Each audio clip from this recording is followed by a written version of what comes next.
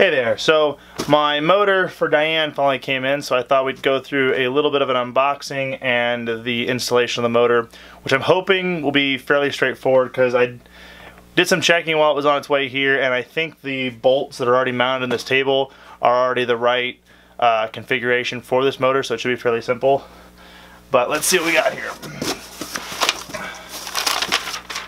On top, it looks like instructions on how to use the motor as far as setting the RPM and restoring factory settings and a few things like that.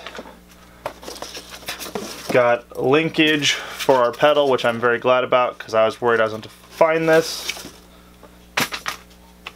Looks like a belt cover. Random odds and ends for installing the motor.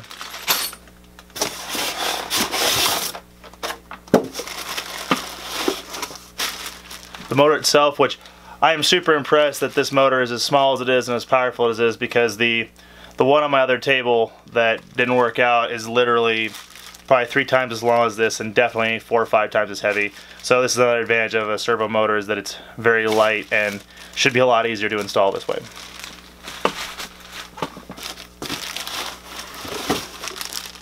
This looks to be our control box. So that'll end up getting mounted probably right over here.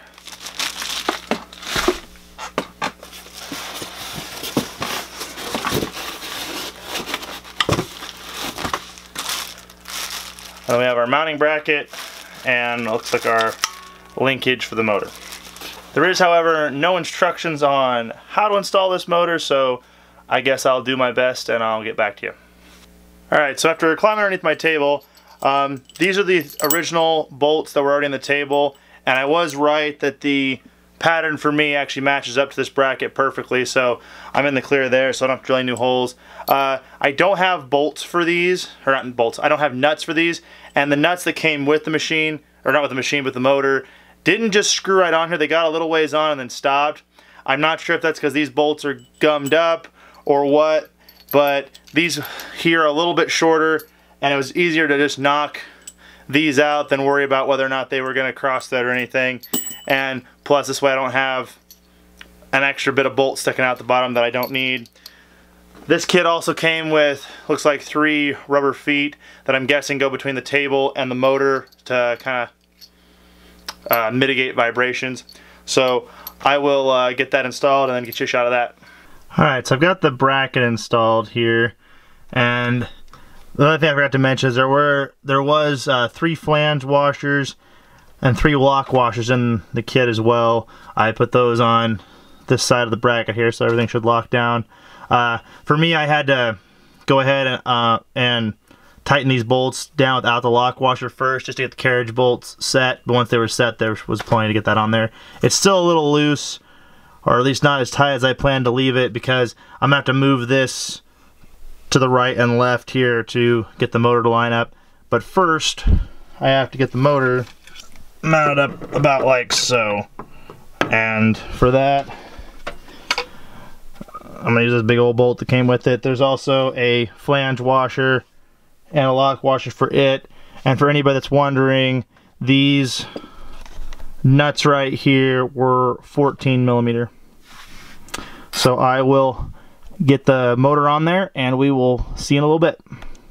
All right, so here it is installed. I got, I managed to find a belt that is the right uh, length and then what surprised me, I figured that most of this belt tension would be from the weight of the motor, but I guess the motor's too light. So you do have to tighten this nut back here, this bolt back here, which is like a 22 millimeter. I didn't have a open-ended wrench that size, so I had to use a socket.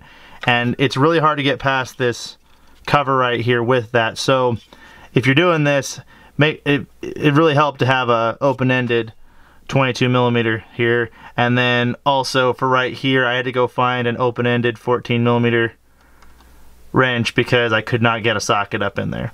So that's just something to be aware of. I've got everything melted belted now and I think I think the tension is good. I don't know. Time will tell.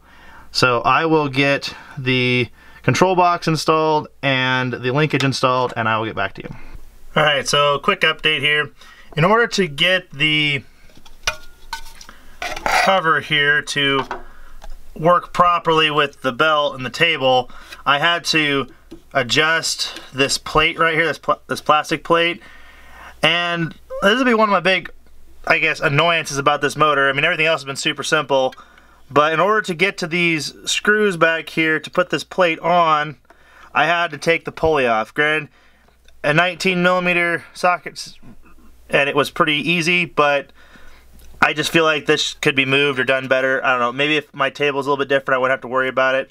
Um, just for anybody that knows, also there's a, a screw back here that goes through that hole right there to hold the cover on once you get it on there. So I'm going to get my belt back on here and then I'll get back to you when I've got the rest of this assembled. Alright, so I've got the linkage installed here. I had to go ahead and move my foot pedal over one slot, but that wasn't a super huge deal other than getting everything cleaned up. And then this linkage here. So these here are 10 millimeter nuts on here and here.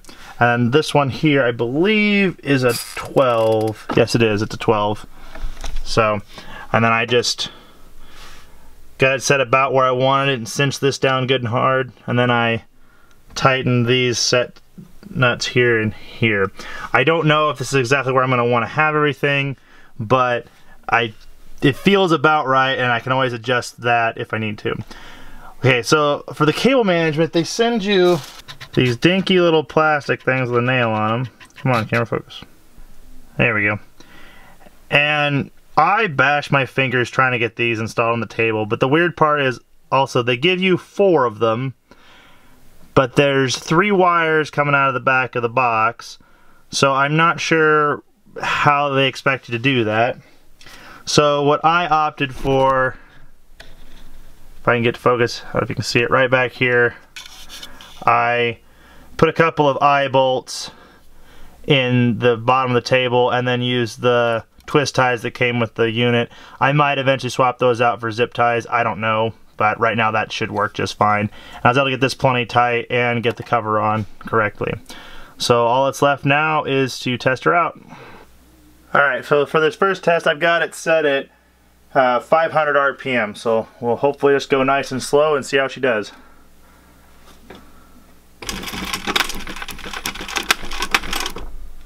Oh, getting hung up on something here. Alright, so it wasn't a bobbin issue. I missed a tensioning disc when I was threading the machine. So let's hold on here. Let's just see how she does.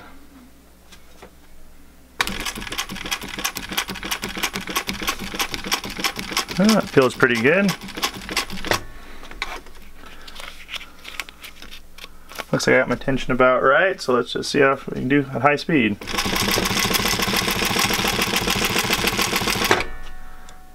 Well, that looks pretty good. Oh yeah, I'm gonna go ahead and turn my speed up here a little bit. Well, she see how she does at a, a thousand RPM.